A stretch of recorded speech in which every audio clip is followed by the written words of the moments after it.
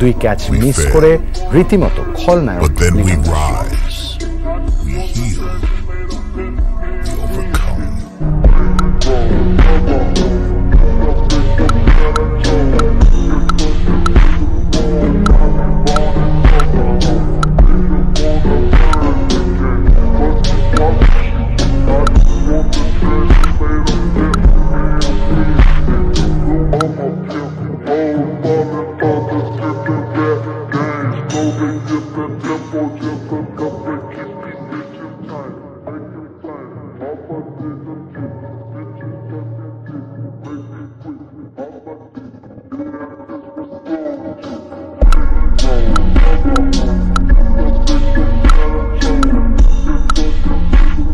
যার রানের উপর একটা সময় ডিসকাউন্ট দেওয়া শুরু করেছিল বিভিন্ন অনলাইন শপ বছর না ঘুরতে তিনি এই মুহূর্তে বিশ্বের সেরা রান সংগ্রাহক।